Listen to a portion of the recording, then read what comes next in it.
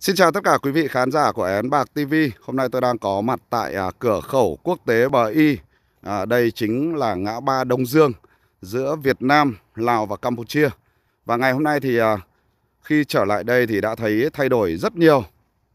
Phải nói rằng là à, các con đường ở đây à, à, được to và rộng hơn rất nhiều. Và bên này thì à, chúng ta vẫn đang tiếp tục xây dựng.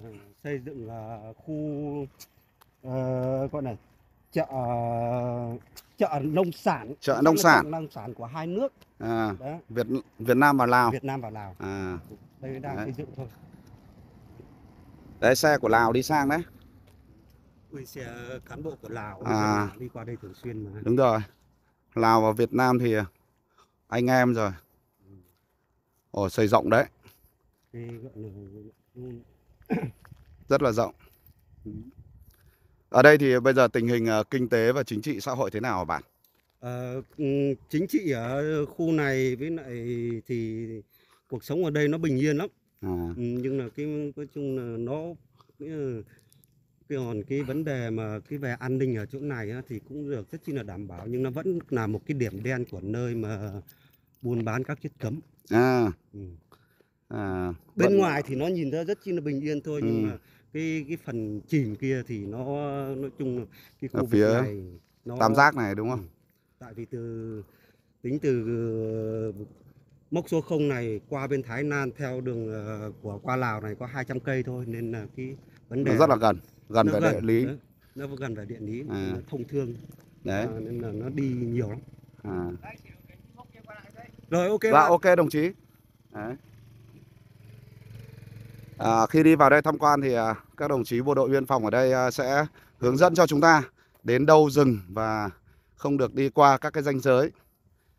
Và các chú bộ đội ở đây thì à, rất là tạo điều kiện để mà đi vào trong này tham quan rất là thoải mái. Ngã ba Đông Dương đấy. Này mà ngày xưa mà cụ Hồ nhà mình mà mà không đánh đuổi được à, thực dân Pháp thì à, khó có cái ngã ba này lắm đúng không? chính xác Ừ, phải nhờ công ơn cách mạng. cái cổng chào này mới xây dựng được xong cách đây 4 năm À, một trong những cái nét à, văn hóa kiến trúc ở nơi đây thì người ta theo đã cái- xây dựng à, theo kiểu cái mái nhà rông nhà rông chính xác của tỉnh Con Tum. À, sang bên kia là ừ, ừ, thuộc đất của Lào rồi đúng không? qua Lào nghĩa đứng À. ở chỗ này thì cũng có, nó hơi khuất một tí so với hải quan À. của Lào À, mà khi mình lên mốc ba biên là mình nhìn được hết toàn bộ ở khu này của ba khu vực đấy. Ừ, nhìn được À. ờ, Nhìn hết được ba nước. Ở đây thì bây giờ người ta đã xây à, xây dựng các cái công viên này, dạng kiểu công viên này. Đấy để sau này cây nó lớn lên thì à, mọi người có thể tham quan và nghỉ ngơi, chơi ở đây được. Một trong những cái nét kiến trúc rất đẹp tại đây. Cái đẹp nhất đó là giá trị về lịch sử mà khi à, Bác Hồ đã lãnh đạo để mà chiến thắng được à, thực dân Pháp để ngày hôm nay chúng ta có cửa khẩu của ba nước Đông Dương này. Ở hai bên cổng thì người ta đều làm các cái nhà vệ sinh công cộng rất là sạch sẽ tại đây. du khách tham quan Du khách tham quan là có nơi để mà đi. Ờ, từ phía bên ờ, đất bạn Lào chúng ta nhìn về phía Việt Nam cũng rất là đẹp.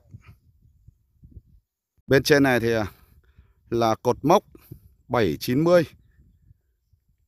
Sự khi tôi được đứng trên cột mốc này thì cảm thấy rất tự hào về dân tộc Việt Nam của chúng ta. À, chính cái vạch kẻ vàng kia là ranh giới của hai quốc gia Việt Nam và Lào. Và khi đứng ở nơi đây thì cảm thấy rất là linh thiêng và tự hào.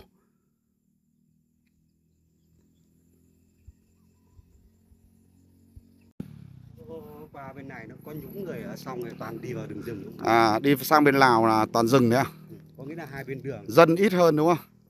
Ừ, qua Ừ. ngay đây tầm một ờ, đi khoảng tầm 10 cây số là nó có một cái có nó khu đấy nó gọi như một cái làng nhỏ thôi Làng Nó nhỏ. sống ở hai bên rìa đường thôi xong À. qua cái làng đấy bắt đầu là chạy tút ờ, tầm 100 cây số là hai bên toàn bộ là rừng và Toàn đường rừng đấy. cái đường rừng nhưng mà cái đường nó được trải dầu của công ty Hoàng Anh khai thác gỗ ngày xưa họ làm để nó vận chuyển gỗ về. À, Hoàng Anh làm cho bên Lào đấy à? chính xác làm ờ, Hoàng Anh làm bên nào để họ vận chuyển gỗ về À, đi vào tầm 100 cây số là tới huyện Mường Cầu à Mà vào. khi đó là giữa người dân Lào với người Việt ở mình bên đó buôn bán rất chi là đông. Ở Mường Cầu đấy à? ừ, gọi là Mường Cầu. À.